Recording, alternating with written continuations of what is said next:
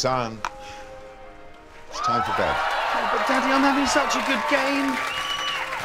James, it's far too late for a boy of your age to be up. It's 12.37 at night. But I'm not even sleepy. Can't I have a story first? Well, all right, just one, though. Now, what would you like me to read to you? Peter Rabbit? Hmm. Goldilocks and the Three Bears?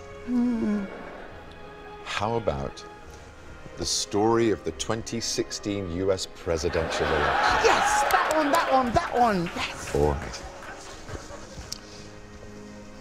Once upon a time, in a land called America, where there were states of blue to the north and states of red to the south, and a beautiful white house in between, lived a lady who wanted to rule the kingdom very much. Very, very much. Some would say too much. And she wore a jacket of beige and trousers of beige and shoes of beige.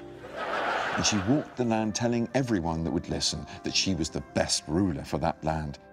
Even though her husband had once ruled that kingdom, this kingdom had never been ruled by a lady. And so she set out on a long journey to that beautiful white house, but along the way she got lost in a forest. A scary forest? The scariest forest. In this forest, there were lots of computers. And on those computers were emails. Emails? Yes, emails. But the lady had special powers to make them disappear. Disappear? Where did they go? Nobody knows, son. Apparently neither did she. And also there were scary creatures in that forest. There were trolls Trolls? and a fox who delivered bad news. The News Fox. and a House Select Committee on Benghazi. And things got scary. Very scary for the lady. She was nearly defeated by an old, old man with hair of white and face like that of a wizard. He said he could take from the rich and give to the poor, no matter how impossible his plans were. He sounds cool.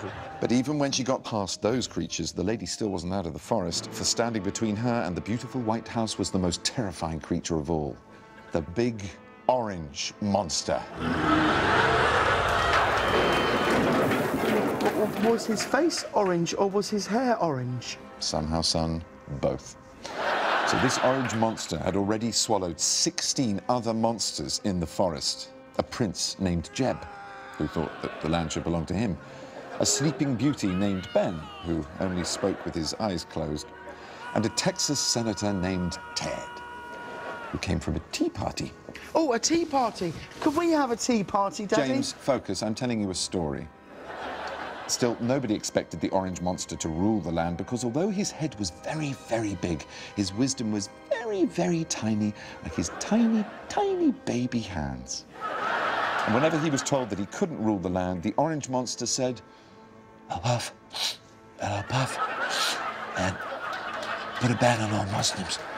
He, he could do that? Well, he wanted to. Because even though America was a diverse land of opportunity, the monster wanted to build a big, giant wall. A wall? Mm. A wall to keep out boys and girls from faraway lands like Mexico, Even Mexico? especially Mexico. For the monster didn't care for anybody who wasn't like him. Not Mexicans, not the kingdom's black president, not even Rosie O'Donnell. The comedian Rosie O'Donnell, but why? Because, James, she's a lady. And since the Orange Monster was so cruel to so many ladies, the stakes in this 2016 presidential election were very, very high.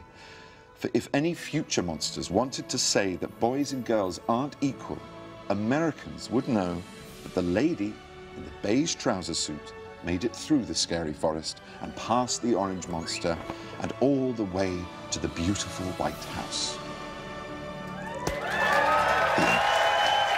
The end? But, but, but, Daddy, did the lady make it to the White House? Tell me that the lady made it to the big White House. We can't tell that yet, son, and neither can the polls. But let's just hope that when you wake up in the morning, every man and woman in America has turned out to vote. Because no matter what your political affiliations are, you have a civic duty to vote. And as long as you do, no one can tell you that this election was rigged. Where, where are you looking, Daddy? No in particular. It. Good night. But, Daddy, hmm? the big orange monster won't grab me in the night, will he? Of course not, son. What about my pussy? Will he try to grab my pussy? Good night, son.